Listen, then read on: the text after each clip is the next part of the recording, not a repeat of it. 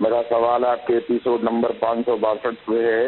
اس میں جناب علی جناب مولانا کمائل اصغر زیدی صاحب نے ایک ایک آدمی کے سوال کا جواب دیتے ہوئے یہ فرمایا کہ تنخواہ کے رقم سے زکوٰۃ نکالنا واجب نہیں ہے۔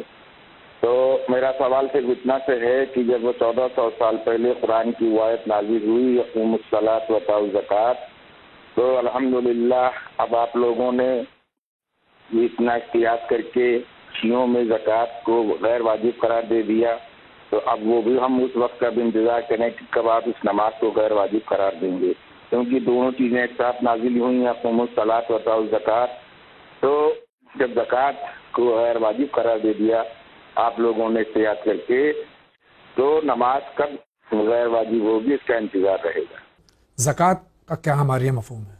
برادر عزیز، گزارش آپ سے یہ کہ فیصلوں میں جذبات کو شامل مت کیجیے، بات کو سمجھنے کی کوشش شیعوں نے زکوٰۃ کے وجوب کا انکار نہیں کیا ہے، بلکہ کہا کہ زکوٰۃ کن کن چیزوں پر واجب ہے۔ جیسے خمس کا مسئلہ ہے، تو وہ مسئلہ اس میں یہ ہے کہ اہل سنت کے فقائے کہتے ہیں خمس مال غنیمت میں ہے اور مال غنیمت صرف اس مال کو کہتے ہیں جو جنگ سے حاصل کیا جائے جی۔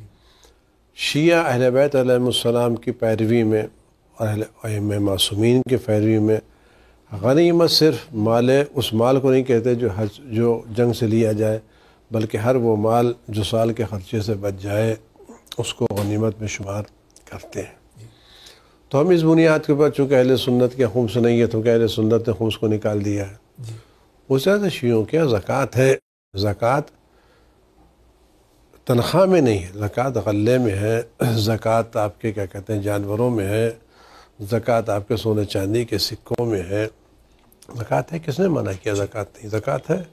اور یہ جو زکوٰۃ آپ یہ کہہ رہے ہیں کہ عقیم و صلاحت آت الزکوٰۃ اس آت الزکوٰۃ سے یہ زکوٰۃ اصطلاحی مراد نہیں ہے۔ اس سے مراد ہے خدا کی راہ میں خرچ کرنا جی۔ غریبوں کی مدد, مدد کرنا, کرنا۔ جی۔ وہ آیت جس میں اس زکوٰۃ کا تذکرہ ہے جو اصطلاحی زکوٰۃ کہتے ہیں وہ قرآن کریم میں سورہ توبہ کی ایک آیت ہے جی۔ کہ ان کو ان زکوٰۃ حاصل کرو۔ ورنہ یہ جو بار بار زکوٰۃ کا تذکرہ ہے اس سے یہ زکوٰۃ اصطلاحی مراد نہیں ہے۔ میں پھر آپ سے کارز کروں گا بڑے ادب کے ساتھ کہ جذبات پہ فیصلے مت کریں۔ لوگوں کی دلیلوں کو سمجھنے کی کوشش کریں۔ پھر میں عرض کروں گا کہ چونکہ اہل سنت خوش نہیں نکالتے تو کیا ہم کہہ سکتے ہیں کہ سنیوں نے خوش انکار کر دیا۔ انکار کر دیا نہیں۔ وہ خوش نکالتے انہوں نے خمس کی تعبیر کی ہے۔ جی۔ جو ان کے اسی طرح سے شیعوں نے زکوٰۃ کا انکار نہیں کیا ہے ان کے کیا زکوٰۃ کے الگ تفسیر و تعبیر ہے۔